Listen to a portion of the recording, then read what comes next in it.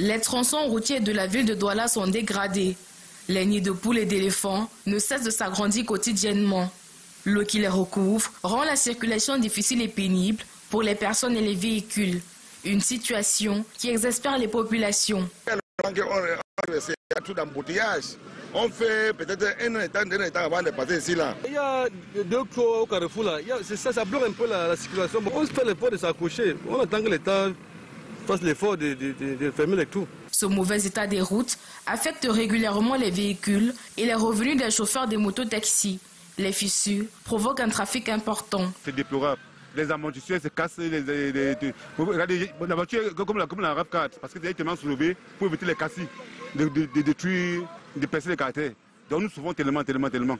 Et avec le client, c'est les discussions, les clients nous se plaignent parce que des embouteillages. L'état de la route tel que vous le voyez nous empêche de faire le chiffre à la fin de la journée. Parfois, nous sommes obligés d'imposer un tarif aux clients. Et s'ils ne payent pas le tarif demandé, nous ne pouvons pas prendre le risque de le transporter. Bépanda Monaco, Ange Raphaël, Terminus Saint-Michel, Entrebi et Trades Bornedis sont les zones où les routes sont les plus